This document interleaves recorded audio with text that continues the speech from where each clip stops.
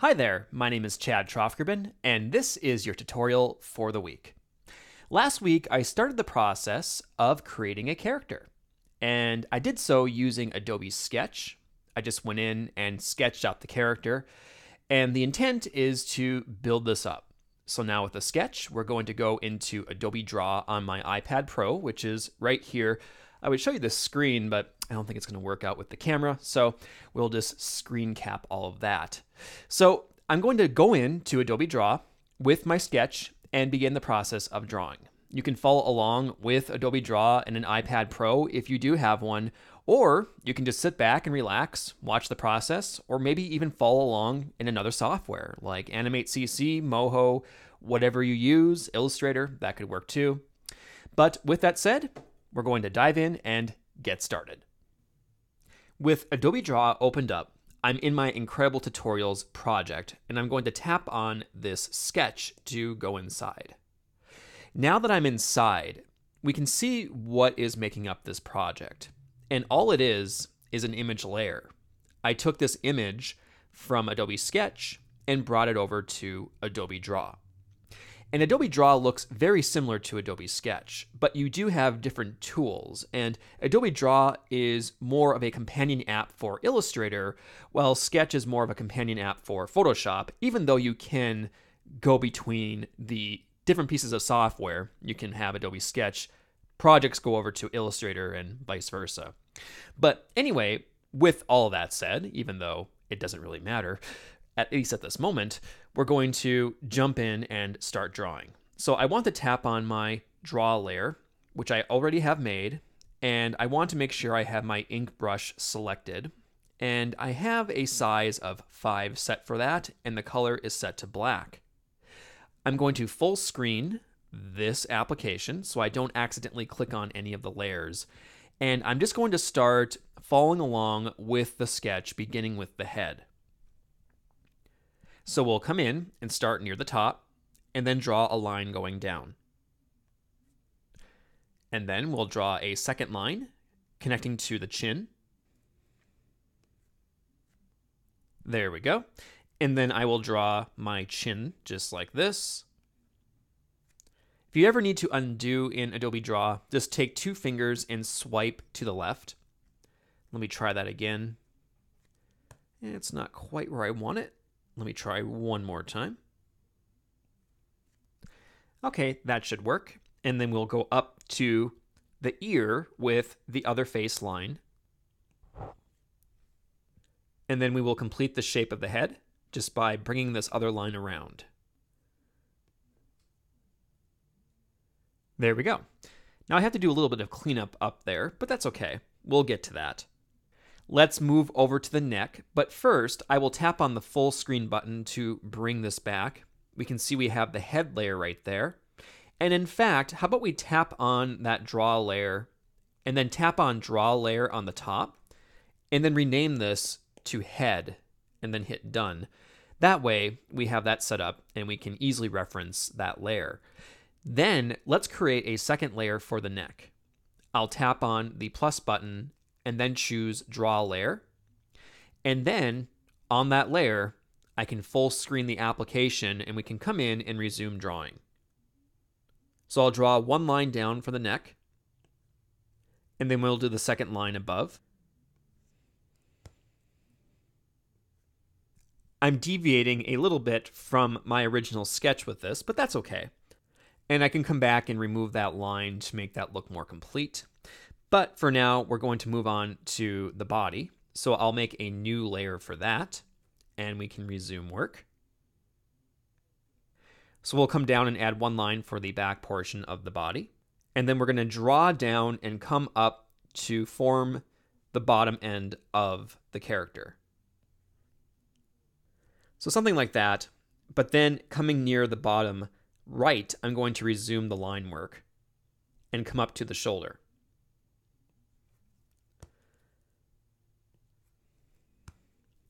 Again, you can swipe to the left with two fingers to undo, which I sometimes have to do quite often if I can't quite get a line right, but let's keep trying here. So that should work, and I can come in and clean up those lines in a little bit here. So we have the body taking shape, Let's jump to that front arm. So I'll add another draw layer. Come over and create that arm. So we'll start near the shoulder, draw a line down. And I'm going to bring it out a little bit like so. And then we're going to bring it back like so. And then we'll reconnect then with the shoulder at the top. So something like that should work. I will, of course, clean up that line in a bit. But then I'm going to resume work. So now I'm going to draw out the wrist because I added a sleeve for the clothes. So now we're going to come down and we'll add this wrist for the other portion of the arm. So it kind of looks like, of course, that his sleeves are too short for his body. And then we can come in and draw the hand.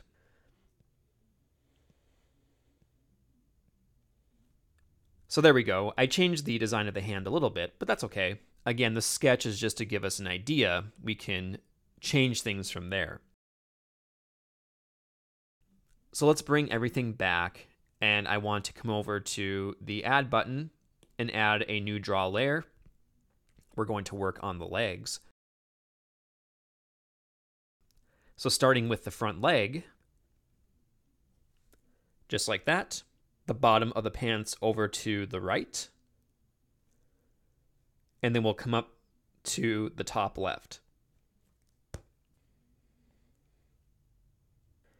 There we are. And we'll draw the foot as well on the same layer. Come down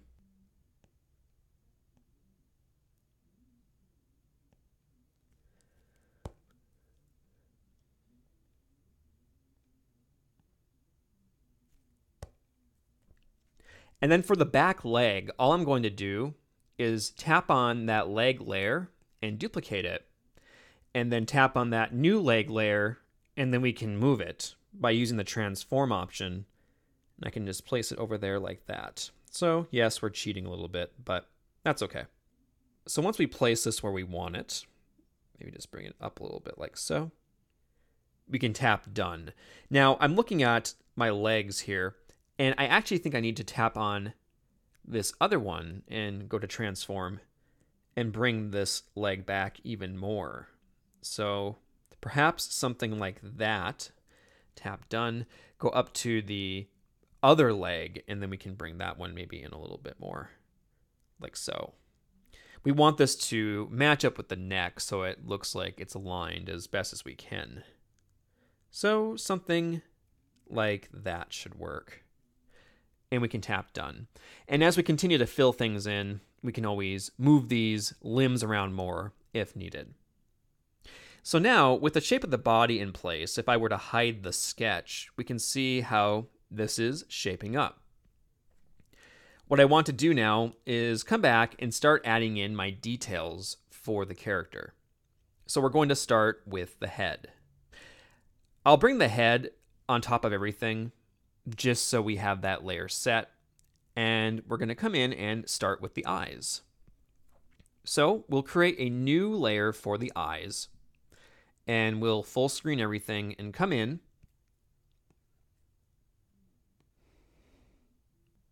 So there we go. And then I'm going to add some reflections to the eyes as well.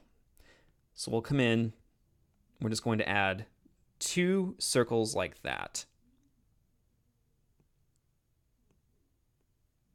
Like that.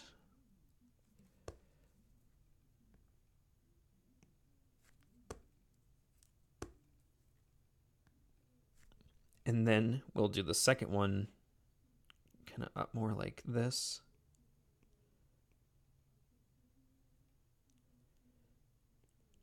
There we go. That way they're a little bit more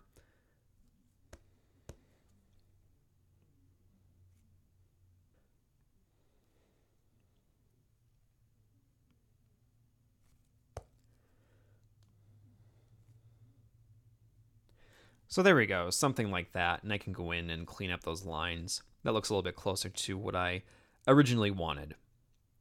So now we can keep going. I'm just going to come in and just keep filling in details. So we'll add in the glasses next. But before I do that, actually, let's come over here to the head, and I'm just going to draw in the ears, and I'll do that on the head layer. So we have that reference set up. So there's one ear. And then there is the second ear. Now we can go to that new layer again, and we can keep renaming these layers as we go, but I'm kind of not, just for the sake of time. But we'll come in and start drawing out the glasses.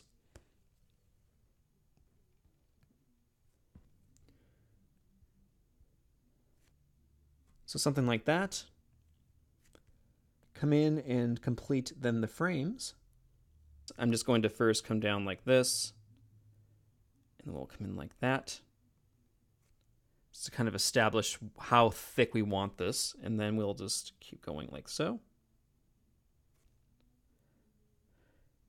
You can round it off and come down like this.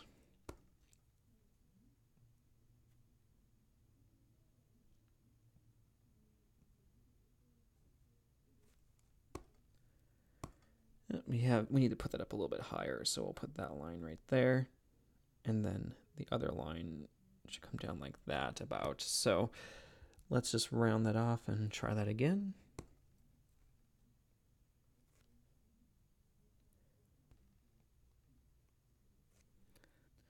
So now I'm going to add another draw layer, this time for the nose. We can come in, draw a line down like that, and then we're going to create a fairly big nose. So we'll just dip it up. Try that again. So there we go. It's a little bit bigger than it was in my sketch, but that's okay. And then we can add in the mustache.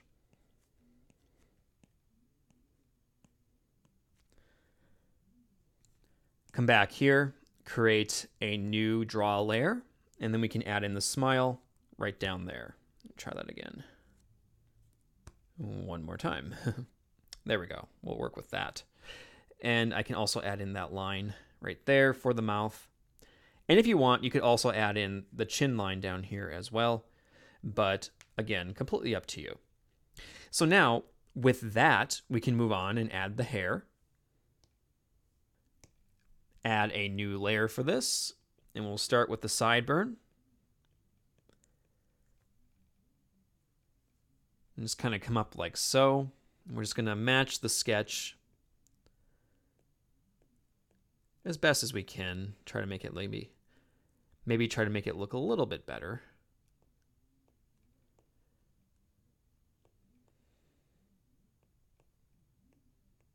Let's come down and add the hairs. I'm going to have to do some cleaning up with this because I won't be able to fill those in until all the lines are completely closed. But I'll worry about that next week. So we're just going to come in now, make sure everything is looking good, and then we'll go on the other side and do the same thing. We can't see the sideburn over here, but we can see the hair past the ear. So we're just going to come in and draw the hair going up like so, and then coming out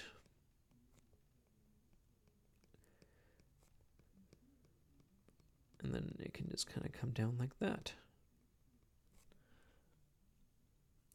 And then we can add in the three hairs on the top of the head. Let me try that again. There we go. I like that better. And then I'm going to go back to the face. Let's tap on that. And add in some of the lines here. So we'll add in the forehead lines right there. I can add in the lines under the eyes.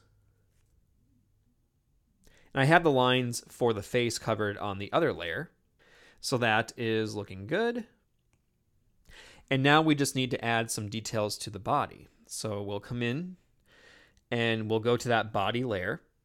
And before I continue, because how I'm going to set this up, I want to grab the neck and bring it above the body on the layers list and then tap on the neck and then choose merge down. So now the neck belongs with the body layer. Then I can continue with my ink brush on the body layer. I'm just going to come in and start drawing. So we will bring this down. Now we need to just finish the tops of the collars here. So we'll add in those lines just like that. And then we just need to bring it all back down. I can also add in the amazing chest hairs here. Actually, I'll wait on the chest hairs because I might color those the same color as his hair, which I haven't decided on yet. So we'll leave those.